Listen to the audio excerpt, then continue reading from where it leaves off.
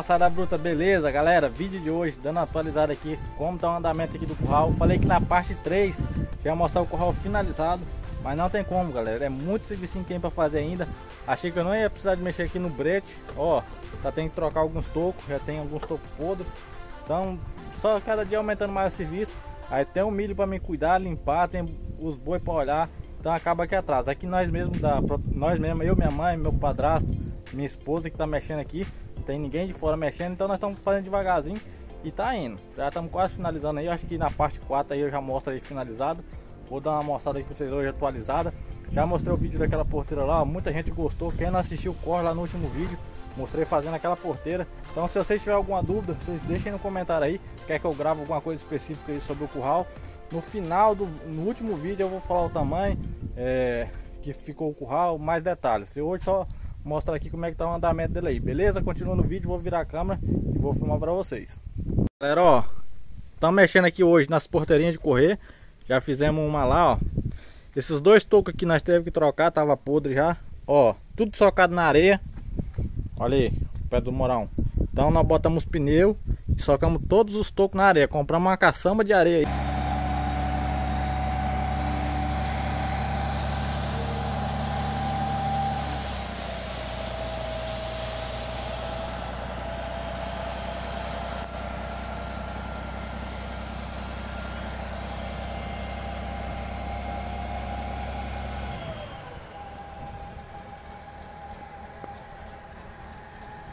Aí para fazer esse serviço. Já tá quase indo tudo embora, hein? Pensa num trem que gastaria, galera. Mas vai aumentar muito a durabilidade do toco. Olha aí, outro buraco aqui. Vamos botar mais dois tocos aqui. Os tocos já tava podre. Vamos ter que tocar alguns tocos aqui também. Achei que não ia precisar de mexer nesse tronco. Então vai ter que dar uma mexida nele também. Já arrancamos a banca aqui. Porteirinha. Fizemos uma porteirinha de saída ali. Ficou bem pequena, galera. Ficou com 1,80m. Mas dá de boa. Geralmente para sair do curral sempre a gente afina o gado. Então é importante sempre ter uma porteira maior na entrada do curral. Que nem nós fez ali, ó. Porteira de 3 metros ali para a entrada do curral. Porque geralmente quando o gado entra no curral, você tem que empurrar ele rápido para ele não voltar para trás. Então por isso tem que ter uma porteira mais larga na entrada. Então depois vamos fazer a banca lateral aqui. A banca vai até ali, galera, ó. Então vai ter essa banca aqui, vamos deixar para o final. Por quê? Para aproveitar a ponta de régua. Geralmente sobra muita ponta aí de régua aí de que a gente faz as porteiras. Então depois eu vou estar utilizando para fazer essa banca lateral aí. Ok? Então essa porteira aqui já tem vídeo no canal. É, expliquei como é que faz, um jeito simples aí de fazer porteira. Muita gente gostou. Quem não assistiu, corre lá e assiste aí o último vídeo que eu postei. Tá aí, ó. Então o gado vai vir aqui, galera, ó. Quebrei aquele canto ali. Geralmente o gado para muito no canto ali do curral. Então geralmente a gente quebra ali para ficar mais fácil você é, mexer com gado. Você toca ele ali já vem aqui, ó. E ganha aqui dentro aqui, dois metros e meio de largura. Então o gado entrou aqui. Esse canto aqui também já quebrei ele, ó. Canto lateral aqui, todo quebrado. O gado vai cair aqui, ó, nessa remanga. Essa remanga aqui é 3 metros aqui de largura. Essas réguas aqui é 4 metros, mais 2 metros e meio da porteira. Então ali vai ter uma tranca, o batedor. Depois nós vamos colocar aí, vou mostrar para vocês uma tranquinha aqui. E o gado vai ficar nesse acesso aqui. Aí nós fizemos essa porteira aqui toda fechada. Essa porteira é uma porteira bem pesada. O que, que eu fiz? Coloquei três drobadistas, ó. Uma, duas, três drobadistas para ela não selar. Então fizemos ela toda fechadinha aí, ó. Esse buraco aqui vai ser onde nós vamos colocar a tranca. Vai ter uma tranca aqui, ó. E essa cabeça aqui, galera, ó. Porque eu deixei essa régua maior? Que depois não tá amarrando a corda. Vou abrir ela aqui e vou mostrar para vocês. Ela abre ao contrário. Abre aqui para dentro. Olha aí. Por quê? Quero amarrar uma corda ali.